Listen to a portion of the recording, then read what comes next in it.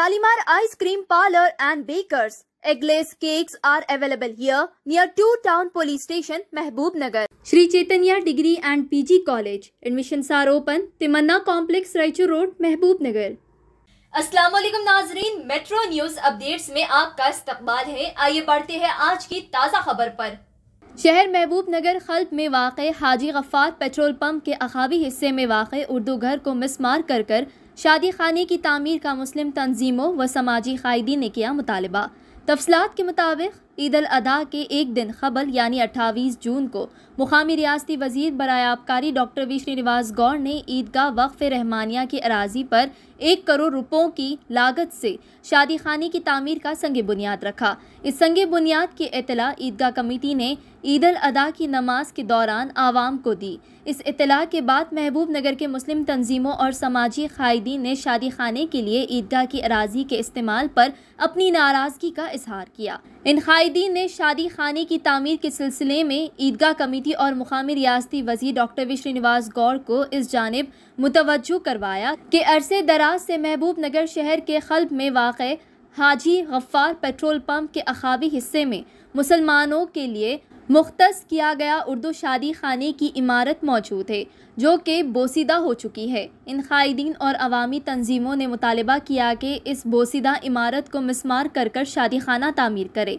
ताकि मुसलमानों के गरीब अफराद इस शादी खाने से फ़ायदा उठा सके इन कायदीन ने कहा कि अगर ईदगाह वक्फ रहमानिया में शादी खाना तामीर किया जाता है तो मुसलमान इससे भरपूर फ़ायदा नहीं उठा सकते।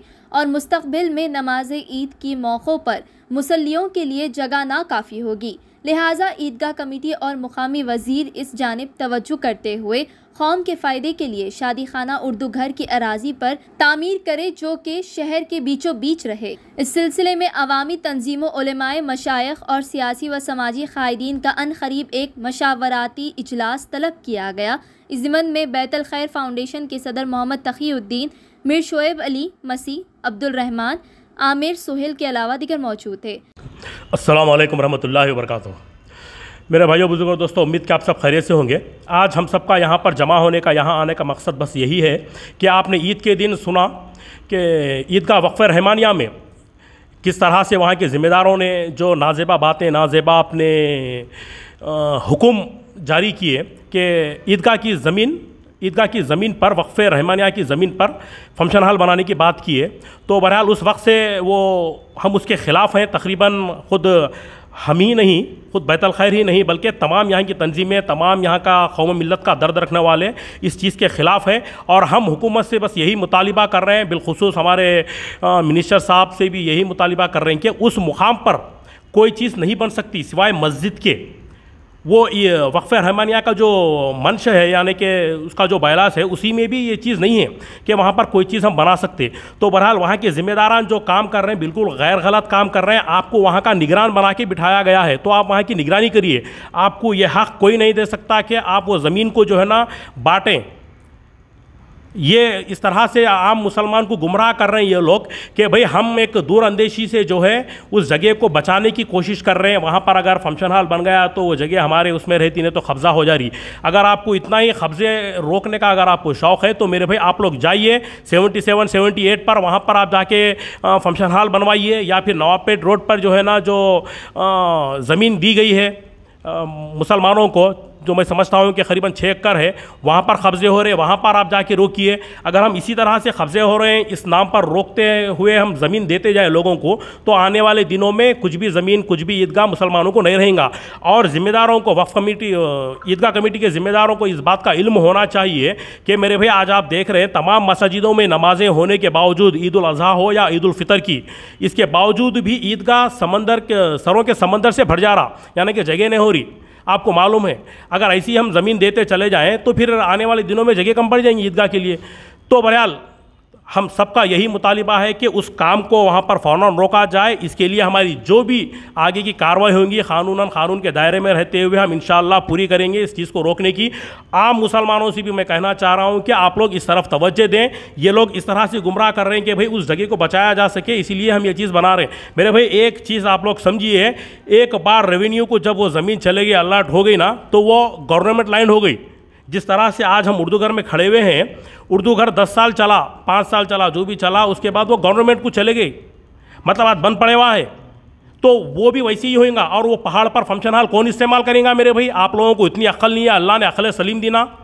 एक और एक, एक मैं अहम बात बताना चाह रहा हूँ यहाँ पर हमारा किसी से भी शख्सियती कोई मेरे भाई आ, हमारे को किसी से कोई तकलीफ़ नहीं है। हम किसी शख्सियती हम किसी से कोई हम बैर रखने वाले नहीं है। या हमारा मुतालबा कौम मिलत की बात आई तो हम बस बात कर रहे हैं। ना हम टीआरएस के ख़िलाफ़ है ना हम हमारे ईदगाह कमेटी के ख़िलाफ़ है। किसी के हम खिलाफ़ नहीं है ना कभी थे ना कभी रहेंगे।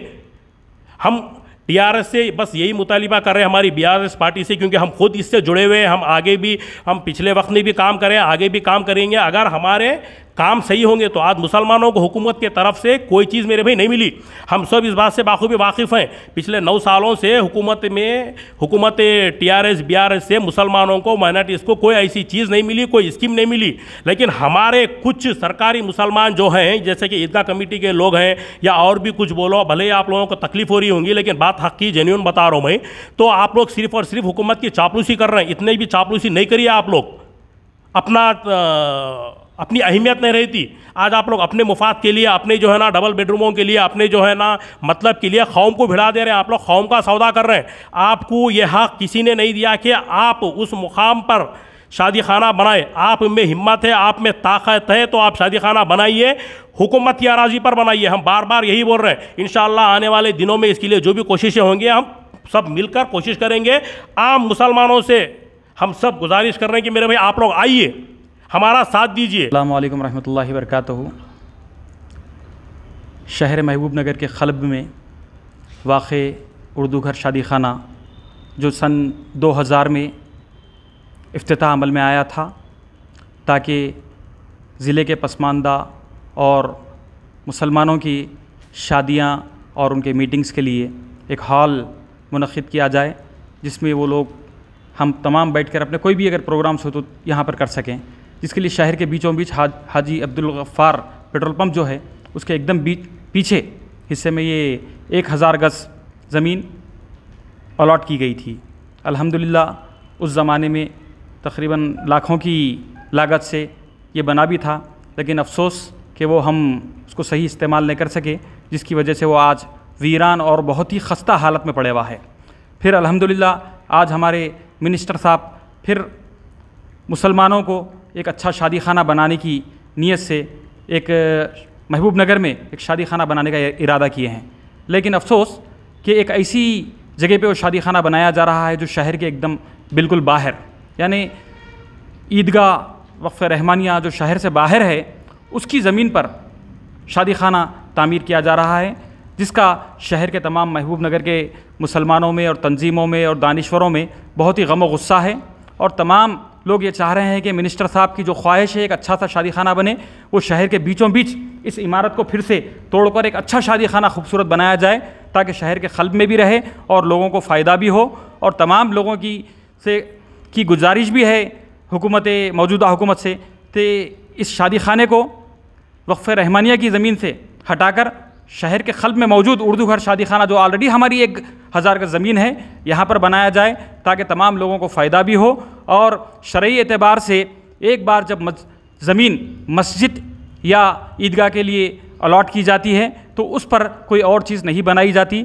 हम इस तरह से बनाकर दूसरे लोगों के लिए रास्ते फराहम ना करें मुस्तबिल के हालात को मद्देनज़र रखें। अगर एक बार हम इस तरह से ज़मीनें अगर कोई और काम के लिए अगर देना शुरू कर दें तो मुस्तबिल के लिए ये नज़ीर भी बन सकती है। लिहाजा हमको चाहिए कि वक्त की नज़ाकत को समझते हुए इस शादी खाने को वक्फ़ रहमानिया से मुंतकिल करके खलब शहर के बीच में जो आई बी की ज़मीन है, हाजी गफ़ार पेट्रोल पम्प के पीछे, वहाँ पर मुंतकिल किया जाए। उम्मीद करते हैं कि मिनिस्टर साहब या आवाम की रिक्वेस्ट को भी सुनेंगे। बात भी यह है कि जो कम्युनिटी हॉल जर्नल के नाम से जो ईदगाह वक्फ़ रहमानिया पे बनाने की जो कोशिश की जा रही थी, उसके मुताल्लिक, क्योंकि वो तो जो परमिशन दी गई या इंतज़ामिया जिस तरीके से भी उसको इजाज़त दिया है, वो महबूब नगर के तमाम, क्योंकि महबूब नगर एक बड़ा ज़िला है, मुसलमानों की काफ़ी बड़ी तादाद है, यहाँ पे कई दानश्वरान हैं, यहाँ पर तमाम सियासी रहनुमा रहते हैं, मजहबी रहनुमा रहते हैं और मशाइन की बड़ी तादाद है, किसी से भी बगैर मशवरा किए कि ये इकदाम किया गया है, जिसकी हम सख्त मजम्मत करते हैं।